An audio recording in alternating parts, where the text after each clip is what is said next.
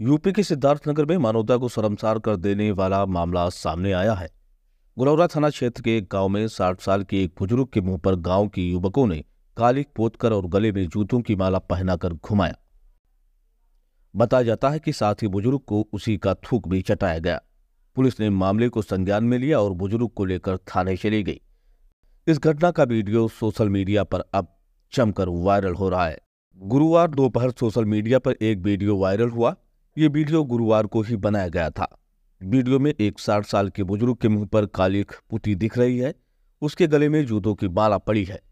एक व्यक्ति गले में मफलर बांधकर उसे घुमाते दिख रहा है।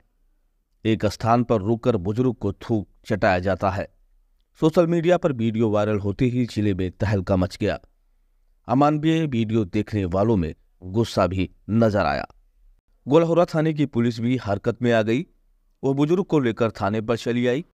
गोलहोरा थानाध्यक्ष अजय नाथ कन्नौजिया ने मीडिया को बताया कि जिस युवक ने यह हरकत की थी, वो भी थाने पर आया था। उसने बताया कि सब कुछ मज़ाक में किया गया है, लेकिन किसी पक्ष से कोई तहरीर नहीं मिली। बुज़ुर्ग को उनके परिजनों को सौंप दिया गया है।